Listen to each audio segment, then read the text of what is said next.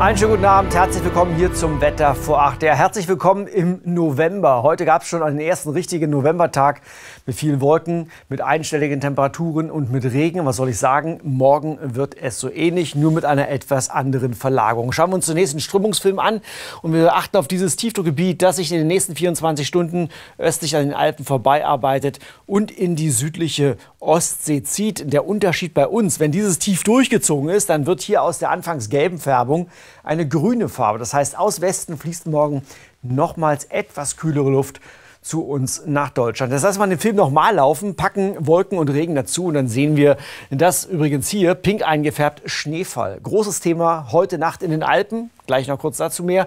Aber wenn wir das Tief hier vorbeizieht, dann sehen wir, es wird eben auch eine stark bewölkte und verbreitet ziemlich nasse Angelegenheit. Und damit schauen wir auf die Regenradarbilder der letzten zwei Stunden. Wir sehen zum einen Schauer hier im Westen, aber ansonsten dieses Hauptregengebiet und das Tief über Norditalien schiebt schon seine Regenwolken über die Alpen hinweg nach Deutschland.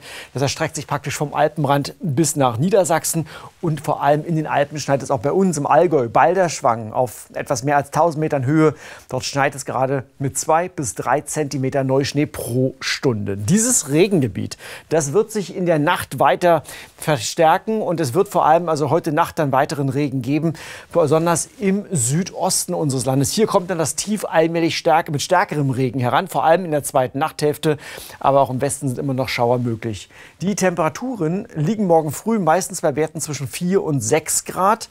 In Ostfriesland und im nördlichen Emsland, da ist es trocken, da kann es vorübergehend mal aufreißen, können es sogar nur 2 Grad sein. Morgen Vormittag weiterhin kräftiger Regen in Verbindung mit diesem Tief. Dann vor allem von Franken über Thüringen hinweg bis nach Berlin und Brandenburg. Hier wirklich zum Teil kräftiger Dauerregen. Im Westen sind es nur einzelne Schauer, im Nordwesten bleibt es auch mal trocken mit ein paar Sonnenstrahlen und am Alpenrand sowie in den höheren Lagen der Mittelgebirge, oberhalb von 800, 900 Metern. Das gilt vor allem für den Schwarzwald, später dann auch noch für das Gebiet rund um den großen Aber. Da kann es dann vorübergehend auch mal etwas Schneien oder Schneeregen geben. Das ist die Situation morgen Nachmittag. Das Tief zieht mit dem Hauptregen bis nach Vorpommern weiter. Das ist dann auch die Situation, in der der Wind, der zunehmende Wind hier im Nordosten eine große Rolle spielen wird. Gleich dazu kurz zu den Temperaturen, meistens im einstelligen Bereich 5 bis 9 Grad zum Wind. Der weht oft gar nicht so stark aus westlichen bis nördlichen Richtungen. Aber morgen am späten Nachmittag und vor allem morgen Abend